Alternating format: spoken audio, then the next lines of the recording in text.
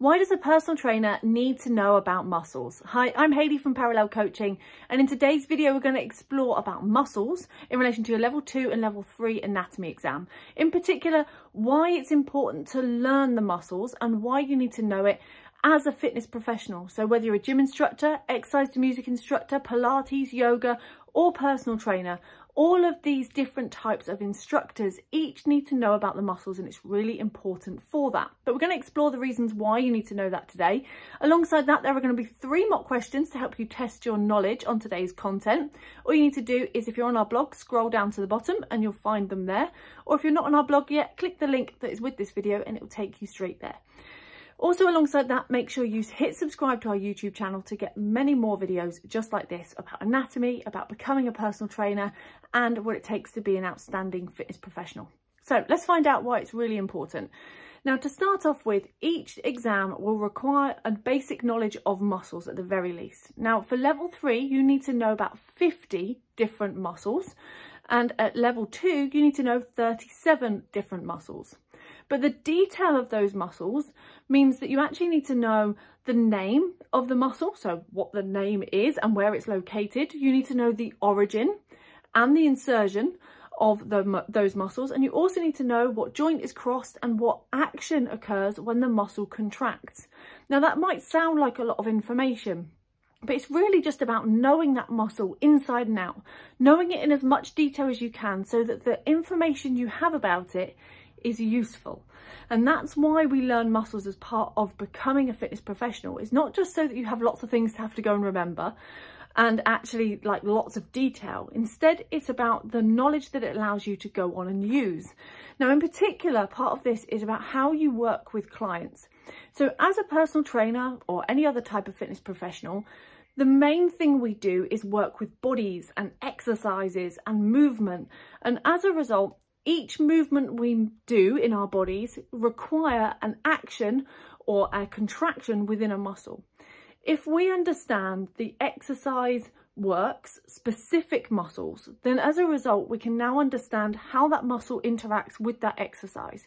So if our client's goal is to change shape in relation to their chest or their arms or their upper body, you now know particular areas that you want to focus on and therefore you understand what muscles need to be targeted in that session, for example.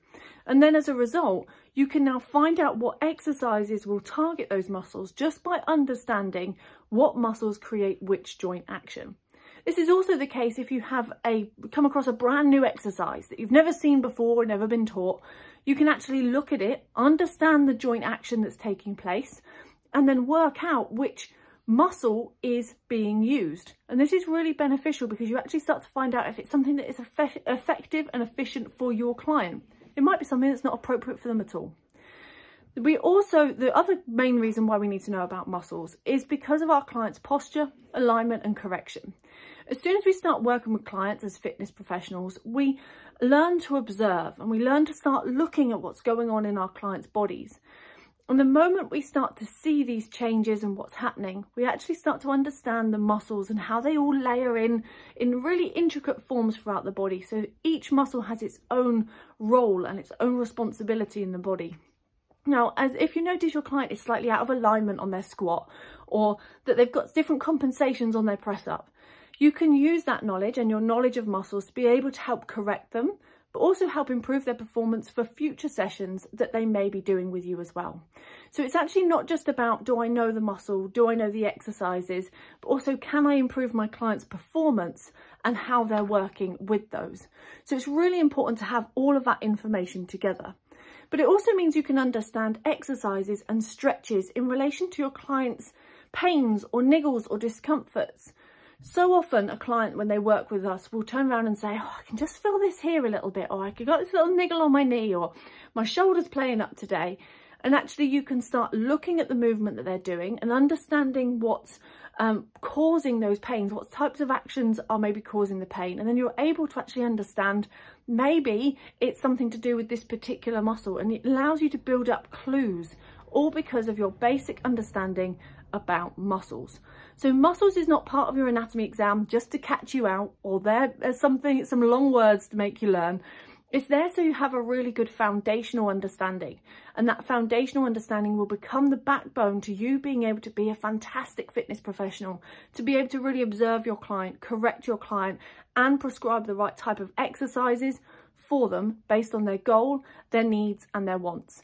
And actually when you're looking at it as a fitness professional and looking at the overall goal and outcome, it will make a lot more sense when you're learning the muscles compared to if you just try and remember every single word. So my big tip for you if you're trying to learn muscles right now is to take your time in learning it. Yes, there's lots of information, but take your time, break it down, focus on one muscle at a time, and then relate it to something you're going to be doing with clients. So if you're a Pilates instructor, relate it to that Pilates move.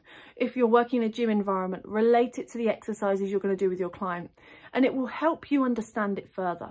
And this is one of five steps that we have that helps you learn and remember the muscles, including the origin and insertion of those muscles, ready for your exam. And if you want to find out more about those five steps, click the link that is uh, on this video and that will take you to another video I've done all about the five steps to remember origins and insertions.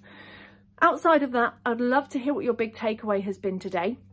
Drop a little comment below and let me know what your big takeaway has been. What have you learnt from today's video? And then go away and start learning those muscles ready for your upcoming exam and working with clients. Thank you for joining me and I'll see you on the next video. Take care.